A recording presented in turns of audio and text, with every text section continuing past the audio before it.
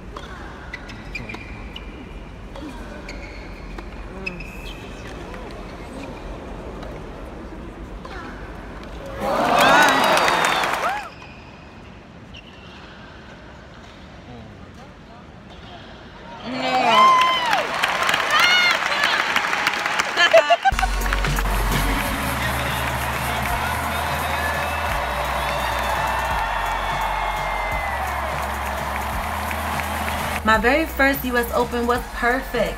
Good company, bomb waffle fries, and Rafa Nadal for the win. What's your favorite sport event to watch? Let me know below, subscribe, and check out my blog post on 5 sustainable tips when attending the Grand Slam. Peace!